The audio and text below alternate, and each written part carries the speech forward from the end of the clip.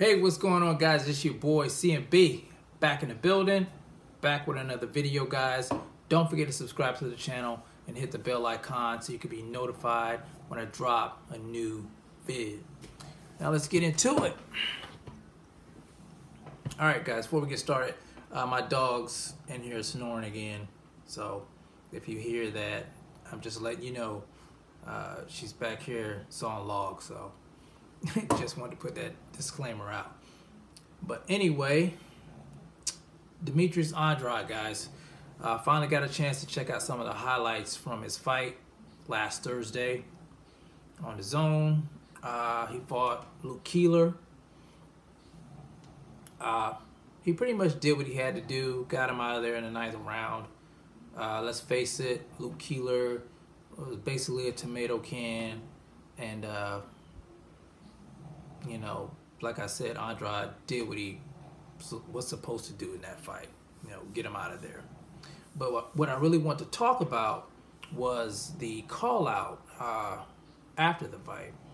Uh, he called out Billy Joe Saunders, and he called out Jermall Charlo.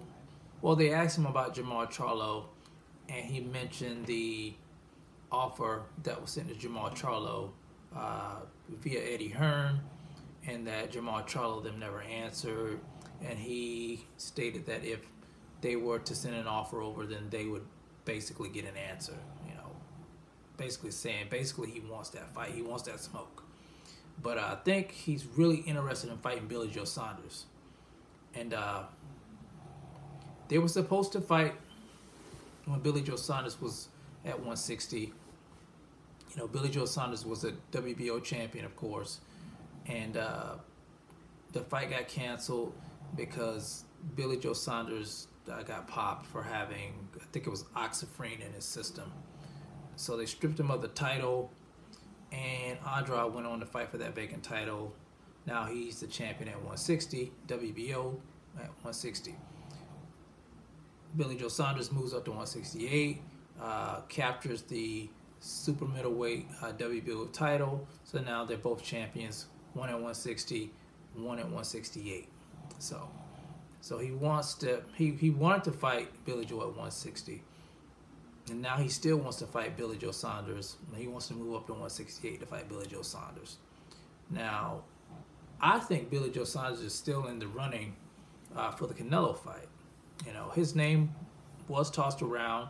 Him, uh, Callum Smith name and Ryota Murata's name was also thrown around uh, to see who's going to get that golden uh, Canelo ticket. You know, they, he hasn't picked yet, so everybody's kind of waiting on Canelo to see his next move uh, before, you know, I guess to committing to anything. So if Billy Joe Saunders get picked for that, uh, Andrade can kiss that fight goodbye.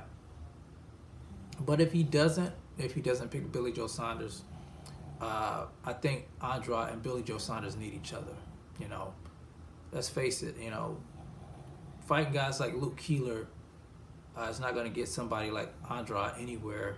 Uh, he's too highly skilled of a fighter to be fighting a guy on that level.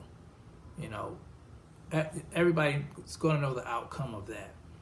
And so I think him and Billy Joe Saunders need each other. You know, I think there's there's their skills match. You know, they're both good fighters. Like I said before, Billy Joe hasn't looked his greatest at 168, but you know, with a little bit of extra training, you know, some corrections, he can look like he did at 160. And I, I think it would be a 50-50 fight still at 168. I, I, think, you know, if they if they went head up, I, I would be excited about this fight as I was when they were going to fight at 160. So, what do you think, guys? You interested in that fight? Uh, who do you have in that fight? Who do you think, you know, takes to fight? I've seen some things in Andrade's last fight that he can work on. You know, the loopy, wild punching. You know, he could work on that, leaving himself open a little bit. I think he could work on that. So, I still don't know if they're both on their A game who I would pick. So. But let me know what you guys think in the comment section. All right, guys, it's the CMB. I'll see you guys in the next video. I'm out. Peace.